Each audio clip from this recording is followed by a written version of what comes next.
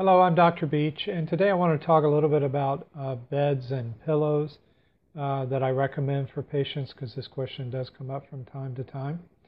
In terms of pillows, uh, the best pillow to use in general is a cervical pillow. And a cervical pillow means it's a pillow that that has a, a slight hump in it that allows to support the normal cervical curve. So if I were facing in this direction, my neck should have a curve in it that goes like that.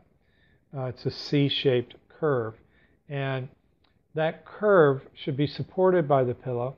In tip, typically with pillows, we have a pillow that actually flattens the curve in the neck, and that actually can create some more stress on the neck.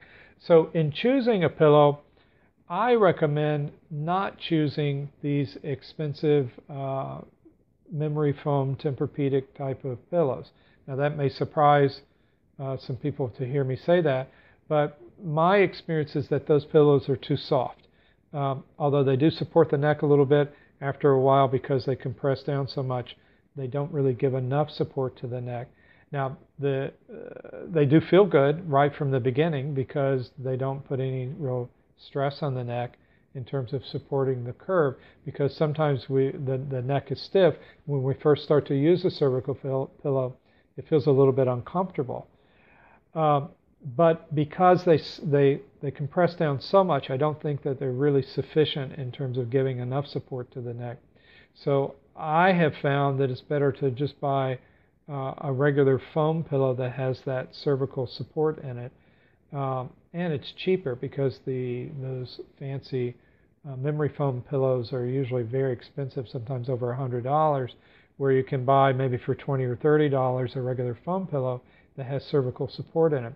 But what you'll find is that when you first start using that pillow, it may be a little uncomfortable for a little while. So I suggest maybe starting with it every night, and then if it's uncomfortable, just pitch it and use your old pillow and start every night like that until the pillow softens up a little bit plus your neck becomes accustomed to it. When you're sleeping on your side, then you want to put your face on that edge uh, so that you're not tilted to one side. And that's a fair, that's pretty easy to get used to, to doing that.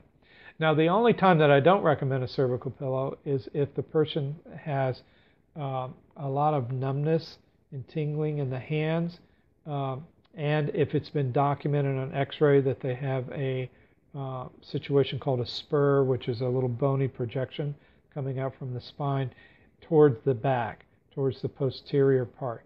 I have this in my situation, and because of that, when my head goes back, this is from an old car accident that I've had, I have that spur projection toward the back. And so when my head tilts back like that on a cervical pillow, it actually pushes on the nerve and I start getting numbness and tingling. So in those cases, a cervical pillow will not be appropriate, but that's a fairly uncommon type of condition, but it can happen. Uh, for, for beds, one of the best beds I, I particularly like and recommend to patients is the sleep sleep uh, comfort bed, the sleep number bed, uh, where you can adjust the the mattress. Uh, it's an air mattress. Um, that's a very good bed. Also, any very firm mattress tends to be better than the softer ones. Uh, again, I, I, don't mean to pick on Tempur-Pedic, but I don't like Tempur-Pedic for mattresses. Um, they because they basically just make a mold of your body and you sink in. Uh, I was given one of those mattresses by one of the uh, high-end uh, back stores, and I slept on it one night, and I felt like I was crawling out of a hole uh, in the morning. So I didn't find that to be a comfortable mattress. You need more support than that. So any really firm mattress, but the adjustable mattresses are, are very good for that. And then in sleeping positions, uh, Try to sleep on your back or on your side, but avoid sleeping on the stomach. If you're sleeping on the stomach, then you're turning your head all night, and uh, that is very, very bad for the neck. It's a good way to uh, to create a neck problem and maybe even pinch a nerve in the neck. And then the other thing is about where do you put your arms when you're sleeping. You want to keep your arms down here somewhere, not up above your head, not sleeping like this or sleeping like that, because that can also compress the nerves coming out of the neck and create a lot of problems in the shoulder and in the arms. So if your habit has been to sleep on your stomach, then I suggest taking a pillow and kind of holding it against your chest like that. That feels very good and it keeps you from putting your arms up and it'll keep you from sleeping on your stomach. Uh, so if you have any questions uh, about pillows or sleeping positions or anything like that, then just uh, let me know and I'll talk to you next time.